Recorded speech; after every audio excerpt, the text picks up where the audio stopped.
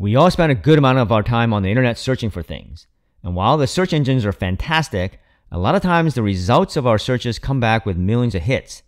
Most of us will just look at the first three or four returns and then get frustrated if it's not giving us what we need.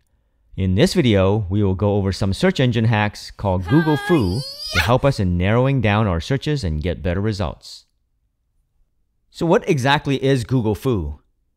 Defined by the Wiktionary, it is the skill in using search engines, especially Google, to quickly find useful information on the internet. This skill is especially critical if you are a cybersecurity practitioner and you're performing the reconnaissance step of the cyber kill chain or just doing some open source intelligence gathering. So let's dive into the Google search bar and do some Google Fu. Some general rules for Google search is that the capitalization does not matter. You can type in Linux forensics, right, with just a capital L. And then you can try it again, typing Linux forensics, this time with some random capitalization of the word forensics. And we get the same identical results. So capitalization does not matter. But the ordering of the search terms do matter. So if I type in WSL Linux forensics, we get a certain set of results returned to us. And then if we actually just change the ordering to WSL Forensics Linux, now we actually get a different set of search returns. And then special characters generally don't matter except when you use certain special characters. And what are those special characters? So let's take a look at some of them here as we get into our top Google Fu techniques. The first technique we are going to be covering is exact matching. You can use quotation marks around the words that you want an exact match on. If you don't use quotation marks around a set of words, Google will find pages that contain one or more of those words typed. So for example, if I typed Linux memory dump, the resulting pages contain the three words somewhere on the page, and it may not be what I want. But if I typed Linux memory dump in quotes, the resulting pages contain the three words in that specific order, as you can see in these results here. This could be useful when you know exactly what phrase you're looking for and you don't want to get extraneous results. Otherwise, you're going to get a whole bunch of results that may only give you one or more of the terms that you are interested in. The next technique we are going to look at is the OR operator. This OR operator will return search results for either the first term or the second term that you're looking for. From our last search of Linux memory dump, let's say that now we also want results from any page that contain the words Mac memory dump. We can just add the OR operator, which is the word OR spelled out in capital letters, and then the second search term in quotation marks. So I'm going to type double quote Mac memory dump and double quote. And then here we see the results, and you can see that they are either pages that contain the exact phrase of Linux memory dump or Mac memory dump. And I know I told you earlier that the capitalization doesn't matter in Google Fu, uh, but now I'm adding the exception to when you're using the special operator. So you do have to actually make it capital OR. Lowercase OR will not work.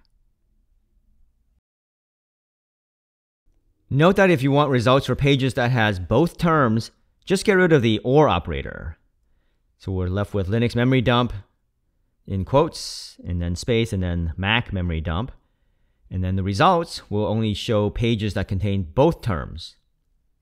Or you can actually use the AND operator spelled out and capitalized with AND, and you'll get the same results. Sometimes when you're searching for something, a lot of results for keywords that you don't want pops up. And you can use a dash in front of a keyword that you want to exclude. So for example, if I'm doing a search for Linux forensics distro, I get a lot of returns here. And I notice that Kali is one of the common terms that are picked up. And for some reason, if you don't think Kali is a forensic distro, you can eliminate any results that show Kali by adding dash Kali. So now I have Linux forensics distro dash Kali, And as you can see, all of the results that come back don't have Kali, you know, as part of the page. And all you heavy Kali users can comment below and let me know that I'm wrong. If you're doing a search, sometimes you're only interested in certain types of files. So for this type of search, you can use the file type operator to narrow down the results to a specific type of file like a PDF, a CSV, a KML, a HTML, a doc, docx, uh, Excel, PowerPoint, etc. And of course, many of the common image and video formats. So if I want to look for the term Linux command cheat sheet, I get a lot of hits. And some of the results may be an HTML page and others are documents. So let's say that I'm only interested in PDFs. I can add the file type colon PDF operator and only get back PDF files. And you may be asking at this point, hey, why don't I just type Linux command cheat sheet PDF? Well, so this does return some PDFs, but it also returns uh, some HTML pages that contain PDFs. So not exactly what we're looking for. So being able to use this file type operator really narrows things down for us. If you are doing a search, sometimes you're only interested in the results coming from one particular website or domain. For this type of search, you can use the site operator to narrow down the results. So from the search that we did before, I can further narrow down the resulting PDFs to only those coming from the sans.org domain by adding the site operator, so site colon, and then the name of sans.org. And so now you can see from the returns that it is only PDFs with the keywords Linux command cheat sheet, and then it's only coming from the general sans.org domain.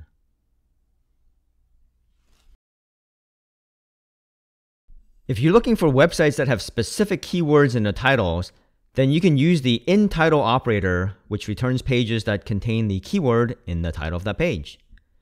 So for example, I can type in site colon sans.org to limit everything to just the sans.org uh, domain, and then in title colon password. And this will return only documents from the sans.org domain and only pages that have the keyword password in the title. And so now for something fun, this particular search can find some publicly available webcams. So all you gotta do is type in in title colon double quote webcam space 7 and double quote. And this will come back and give us a lot of results that has the word webcam 7 as part of the title. It's just well known that this is a particular webcam that uses this as part of their uh, page title. And there are a lot of results that come back. Some of them are just IP numbers, which leads you to a public webcam. But beware what you click on. Some of the results that are returned kind of look questionable. So click at your own risk. If you're looking for results from a certain website but don't remember the full name, then you can use the in-URL operator, which returns pages that contain the keywords in the URL of a page. So for example, if I can't remember that if it's sans.org or sans.edu as a domain, then I can just put in URL colon sans, right? And then in title colon password and this will return anything within the uh, that has sans in the URL. So I don't have to actually remember if it's sans.org or sans.edu. And for something kind of fun again, this particular search will also find publicly available webcams, but I will limit it to a specific site just to make things simpler. So I can type in in URL colon view slash view.shtml and then I'm just going to limit it to site colon lpl.org. And so here we can see the webcam for this particular library. So there you have it. These are the basic Google Fu techniques that I use to make my daily searches more useful. What are some of your favorite searching techniques? Share it in the comments below. For another video that may be of interest to you, check out this video here. Make sure you click on the blue monkey to subscribe. Thanks for your time and happy hunting.